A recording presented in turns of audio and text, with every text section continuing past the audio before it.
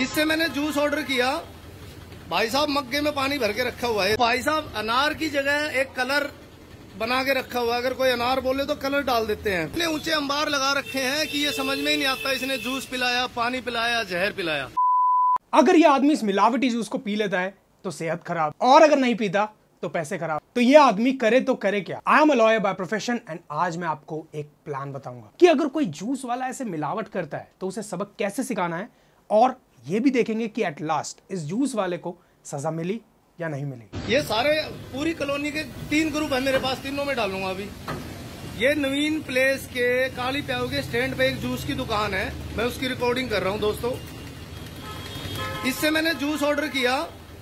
भाई साहब, मग्गे में पानी भर के रखा हुआ है देखिए। क्या नाम है आपका? नाम क्या है? आज़ाद। ये एक जूस की दुकान है जस्ट काली प्याऊ स्टैंड पे। आप थोड़ा लोकेट कर लेना। और भाई साहब, अनार की जगह एक कलर बना के रखा हुआ अगर कोई अनार बोले तो कलर डाल देते हैं। हम पैसे देते हैं और बदले में जहर पिला देते हैं। और ये भाई साहब को मैंने अच्छा पहले रिक्वेस्ट कर चुका था कि जी अच्छा बनाना, नहीं तो पिया नहीं जाएगा। ये हमारा पैसा लूटा जा रहा है। ये तो शुक्र है कि मैं यहाँ स्टाफ मेंबर हूँ। इस वजह से मेरे काबू में आ गया, नहीं तो मेरे से तुम इधर आओ इधर आओ। ये भाई साहब, थोड़ा अगर इस शॉप पे कोई जूस पीने आता है तो प्लीज़ थोड़ा ध्यान करें। जूस सर्व कर बच्चों को। इसे मैं बनाता हूँ इंसान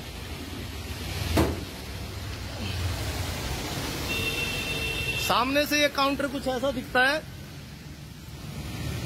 ये स्टार जूस और इसने इतने ऊँचे अंबार लगा रखे हैं कि ये समझ में ही नहीं आता इसने जूस पिलाया, पानी पिलाया, जहर पिलाया।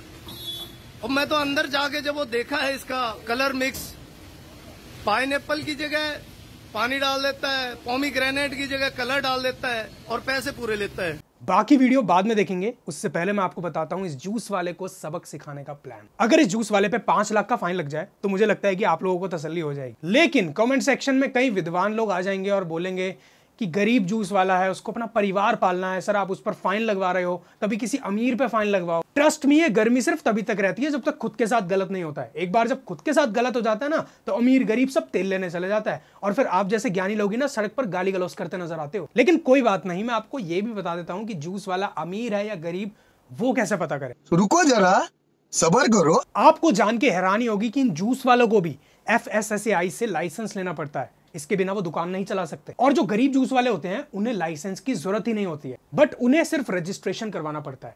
रजिस्ट्रेशन और लाइसेंस दो अलग चीज़ें हैं। अगर छोटा दुकानदार है तो रजिस्ट्रेशन होगा, अगर मोटा दुकानदार है तो लाइसेंस होगा। और मेरे गरीबों के प्रति सहानुभूति रखने वाले ज्ञानी भाइयों को जानकर बहुत खुशी होगी कि गरीब जूस वालों को पाँच लाख का फाइन देने की ज़रूरत नहीं है। As per section fifty of the food safety and standards act अगर कोई जूस वाला इस तरह से मिलावट करता है अपने जूस में और उसके पास लाइसेंस है मतलब मोटा दुकानदार है तो उसको मैक्सिमम पाँच लाख तक का फाइन देना पड़ सकता है। लेकिन अगर जूस वाले के पास लाइसेंस नहीं है, सिर्फ़ रजिस्ट्रेशन है मतलब छोटा दुकानदार है, गरीब है तो उस केस में जूस वाले को मैक्सिमम पच्चीस हज़ार तक का फाइन देना पड़ेगा, उससे ज़्यादा नहीं। लेकिन कानून की नज़रों में तो हम इक्वल हैं राइट टू इक्वालिटी तो ये फाइन अलग अलग क्यों है?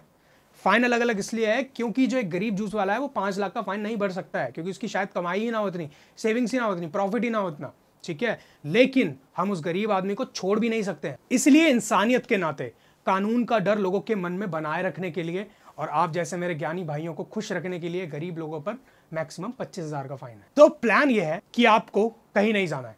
किसी डिपार्टमेंट के चक्कर नहीं काटने आपको। आपको बस online F S S A I की ऑफिशियल वेबसाइट पर ग्रीवियंस सेक्शन में जाकर एक रिटर्न कंप्लेंट फ़ाइल कर देनी है उस जूस वाले के अगेंस्ट जिसमें जूस वाले की शॉप का एड्रेस ज़रूर होना चाहिए।